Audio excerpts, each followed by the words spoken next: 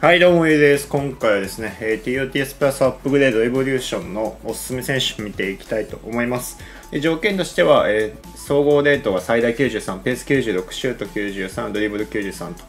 なってます。で、まあ、能力上がりと、まあ、TOTS プラスになるということで、まあ、ケミが救われるっていう感じですね。能力上がりがそこまで大きくないのと、まあ、あとはプレッサがつかないっていうのは特徴になってるかなと思います。でまあ今自分が持ってる選手でちょっと見たいなっていうのとあとは EGSBC でちょっと見ようかなと思うんですけど、まあ、こんな感じですね。まあ以前、えー、エボしたヤミックであったりとかもできますし、まあ、ミリサビもできるし、えー、この選手も結構今人気あるので、この辺になってくるかなと思います。まあ自分的にはミリサビかな。ミリサビの使用感めちゃくちゃいいので、まここをちょっとやろうかなと思ってますけど、他にいい選手がいるかどうかっていうのも含めて、えー、紹介していきたいと思います。えー、では早速ですね、EGSBC で見ていきたいと思います。まあ先ほど紹介したこの選手ですね。あのコスパの割にすごい使用感がいいということで、まあ、フィジカルも97あるし、スタミナも93と。で、まあ、リアクションも95あって、レッサーも89あるんで、ペースも速いし、予測プラ、ブロックプラ、パワーヘッダー。で、ロングボールも持ってての、えー、エアリアルもちゃんとあるってことで、ジョッキもありますね。まあ、インターセプトはないですけど、すごい使用感がいいということで、まあ、この選手もありかなっていうのは思います。はい。えー、次ですね、ミリサビ。まあ、今回 FCS でも僕使いましたけど、本当に使用感良かったですね。まあ、中盤の今、インターセプトプラがマジで必須級ぐらいに強いなと思います。あの、ロドリも僕すごいハマってて使ってたんですけど、予測プラもありますし、まあ、パワーシュートも本当多分一番決まるんじゃないかと思うんですけど、自分的にはあのインターセプトプラの存在でかいなと思いました。まあ、FCS でアロンソと2枚組で行きましたけど、マジで使用感いいですね。あの、明らかにボール取り感が違うなと思います。あとはまあやっぱりこの辺のパスケもちゃんと持ってるんで、ミリサビは結構一押しかなと思います。まあ、目標選手ですし、全員もらえる選手なんで、おすすめにはなってくるかなと思います。はい。で、えー、まあこの辺他のエボと掛け合わせで、えー、選んだりとか、まああのー、他のエボでプラスにしてからプラスアップグレードできるってことで、まあ、この辺も入ってはきてますね。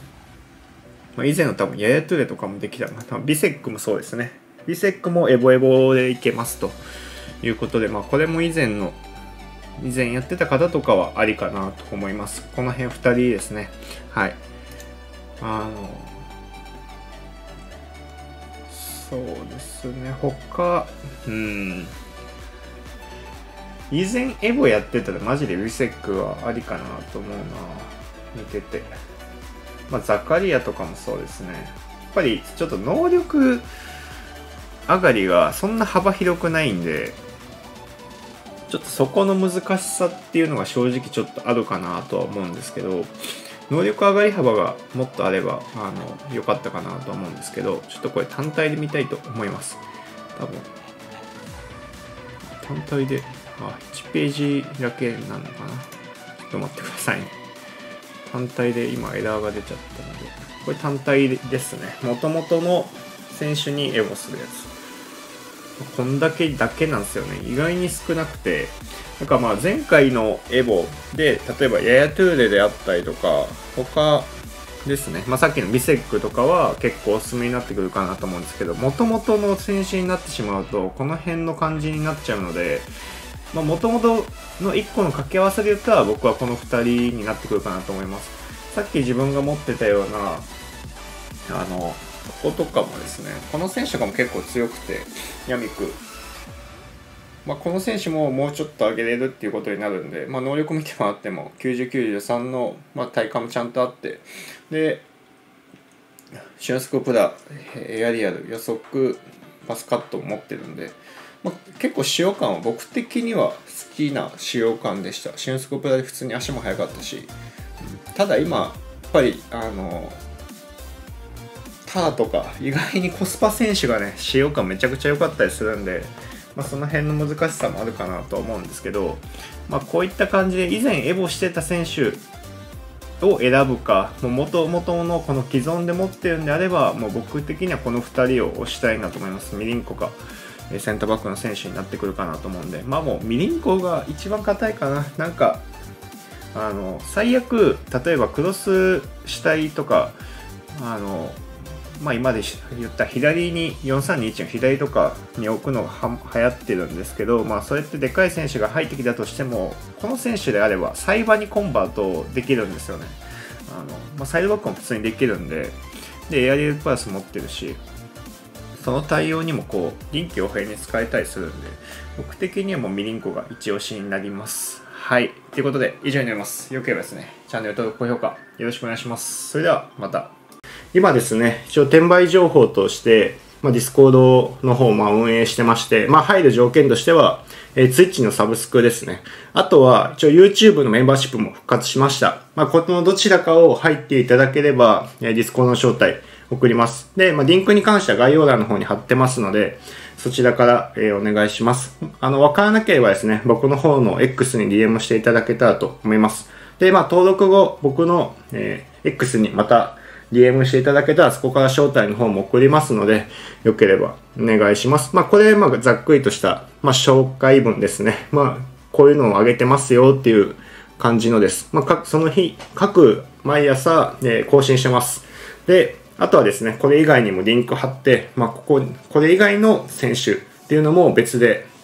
おすすめに出してたりもしてます。あとはですね、まあ SBC であったりとか、まあ、過去作の TOTY についての、まあ、説明であったりとか、まあ、イベントですね。過去作で出てたイベントとか、まあ、こういう時期はこういうのは高いですよっていうのも紹介とかも、えー、したりもしてます。で、あとはですね、まあ、他にも、まあ、リーク情報とかも、ちょっとここに画面映しちゃってないんですけど、リーク情報とかも、えー、出したりとかっていうのも含めてやってます。はい。まあ、この下にアップグレーとか、ブラックフライデーとかもいろいろ貼ってるんですけど、はい。で、まあ自分の成功した案件とかもその辺も載してるんで、まあ自分がやって転売とかも参考にしてもらえるかなと思ってます。はい。ですね、あの、以前入ってた方とか知ってると思うんですけど、もともと転売情報とか質問系っていうのは全く一緒にしてたんですけど、あの、質問の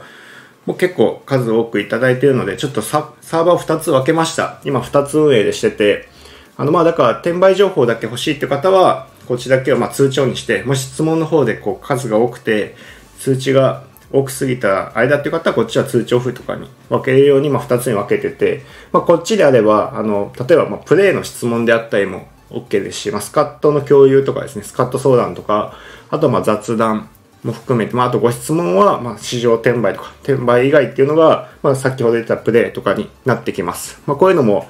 やってますので、あの、まあ、転売以外のところも、まあ、質問できる環境にはしてます。まあ、初心者の方とかも含めてですね、まあ、ちょっと対応もずっとできるわけではないので、極力早く対応はしようとは思ってるんですけど、自分の空き時間とか、まあ、僕以外の方も、あの、お答えしていただいたりもしてるので、よければ興味ある方はぜひ入ってみてはどうかなと思います。はい。